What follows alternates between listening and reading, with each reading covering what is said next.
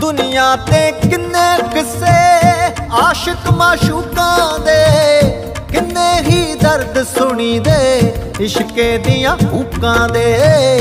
ਲੇਕਿਨ ਫਰਹਾਦ ਜਿਹਾ ਕੋਈ ਲੱਗਦਾ ਦਿਲਦਾਰ ਨਹੀਂ ਬਣਿਆ। ਇੰਨਾ ਕੁਛ ਬਣ ਗਿਆ, ਲੇਕਿਨ ਕੁਦਰਤ ਤੋਂ ਪਾਰ ਨਹੀਂ ਬਣਿਆ।